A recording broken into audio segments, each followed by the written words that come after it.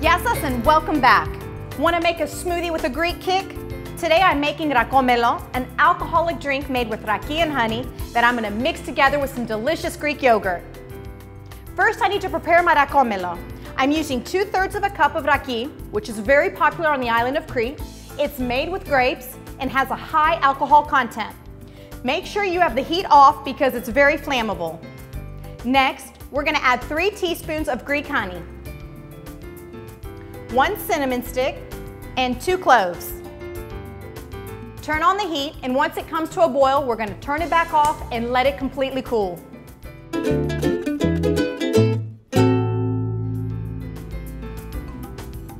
In a bowl, we're gonna whisk together our cooled rakomelo, three cups of Greek yogurt,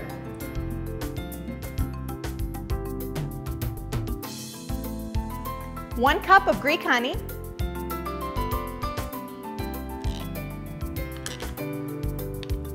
one quarter of a cup of water,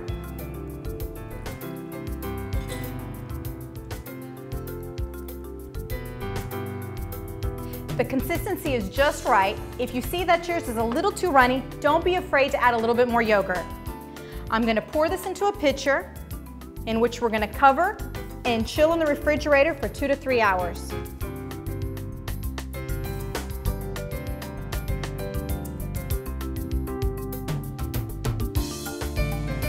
Unique and different, Rakomelo smoothie is a great after dinner drink that will coat your palate with a smooth, refreshing sweet taste.